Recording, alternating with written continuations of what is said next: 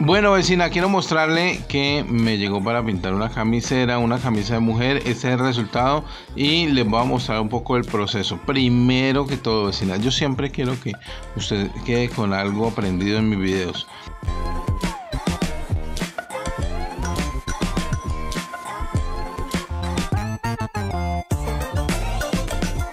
Primero que todo, este consejo ya lo saben todos porque siempre lo digo, la tela se pinta con pintura para tela.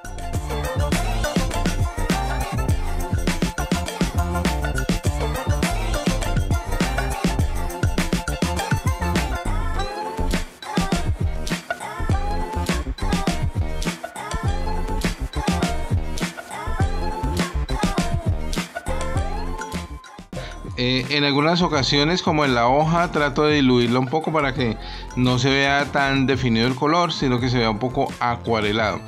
Esta pintura lo que hago es que eh, con el pincel bien húmedo toco un poquitico de pintura y hago que se vea como un tipo acuarela. Estoy tratando de que se vean los colores de la bandera de Colombia, que son el amarillo, el azul y el rojo. Y obviamente, como es, eh, son flores y pues las flores van acompañadas de hojas, lleva un poquitico de verde, pero muy poquito. Principalmente quiero que se vea el amarillo, el azul y el rojo. Y estoy tratando de hacerlo solamente a un lateral, así como lo vieron en la imagen inicial, como quedó. Y bueno, recomendaciones, la tela se pinta con pintura para tela. También tengan una referencia visual. En el caso mío yo tengo siempre la imagen que estoy pintando, el tipo de flor que estoy pintando, la tengo en el, computador. Entonces me facilita saber dónde van las luces, saber dónde van las sombras, porque mm, pues que uno sea artista no quiere decir que uno sea divino o que sea inventor, no necesariamente.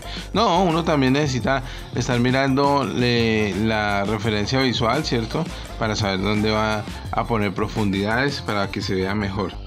Esta blusa me la mandó a pintar una señora del departamento de Cundinamarca y le agradezco muchísimo. Aquí para los azules estoy utilizando un azul turquesa, no estoy utilizando el azul rey, pero es un azul turquesa que me pareció que, queda también bien bonito. Y para las profundidades estoy, utilizando un turquesa intenso. Resulta que cuando yo compro las pinturas em, vienen muchos, muchas tonalidades de cada color. Entonces escojo un azul turquesa suave y un azul turquesa intenso para hacerle la sombra. Y en las profundidades estoy utilizando el negro vecina el negro. Aunque muchas personas le tienen mucho respeto yo obviamente también yo también lo utilizo pero muy poquito pero lo utilizo. Es que hay partes donde no utilizan el negro ni para remedio vecina. Yo lo utilizo yo lo utilizo con mucha precaución para que no me vaya a poder caer el trabajo Recuerden dejar secar 72 horas estas pinturas en tela antes de lavarlas. Si les gustó, comparta el contenido, comparta el video, vecina que me ayuda muchísimo y escríbame un comentario. ¿Listo? Chao.